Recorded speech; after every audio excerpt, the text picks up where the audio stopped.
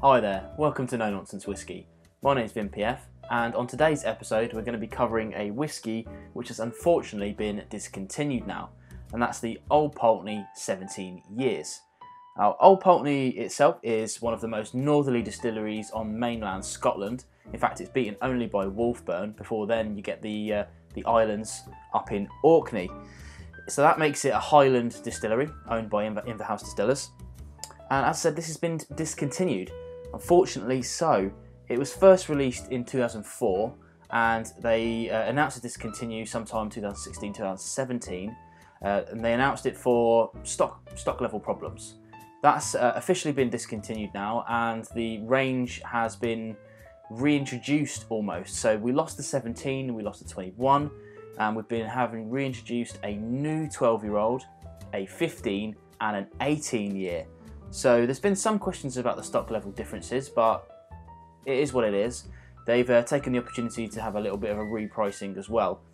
This itself has seen a little bit of an increase over the last few years. It's now up to about £75 for a bottle, so it's it's fairly expensive for the average drinker, and we'll get into whether that's worth that a bit later on. It's also bottled at 46%, which is not to be sniffed at. I think that's a pretty reasonable reasonable ABV to be getting on with. I've actually covered a couple of, uh, of Old Pulteneys before. I've covered the 12 year old as was, not as is. Uh, that I'll put a link up here. But if you really want to see something entertaining, my third ever proper review, I covered the Old Pulteney Duncansby Head, which was a travel retail exclusive lent to me by a friend.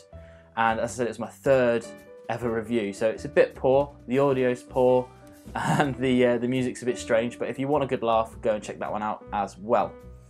Let's check out this poor old 17 and see if it really is worth pining after, or if it should be left with the new 18. On the nose, then. So for me, it's it's quite a sweet nose. It's not like overly sickly sweet, but it's it's quite sweet. Some vanillas from the uh, ex bourbon barrels, I wager. Quite a lot of brine notes on there. Definitely some salty things going on. I quite like that about Old Pulteney though. The uh, the Pulteney distillery has a, a pretty characteristic flavour profile, I think. Uh, it's one of those really briny, salt, sea salty distilleries, a little bit like Talisker in a sense. I think once once you've got used to all of that, there's there's some floral notes and some grassy notes there, kind of not quite hay-like, but more fresh grass than hay. Let's try a bit on the palate.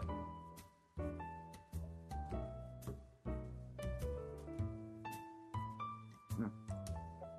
Now, it takes a second or two, but there's this really huge hit of heat, some pepperiness going on. It probably takes about a second or two on the tongue. To start with, it's quite mellow, quite um, quite understated. Then this kind of big hit comes out of nowhere. then once that's gone, it subsides again, and you're getting more of that stuff you've got on the nose. Some more of that brine, the vanillas, the floral notes, grassy notes even. But I think it's one of those whiskies that really does benefit from sitting out on the side for a period of time.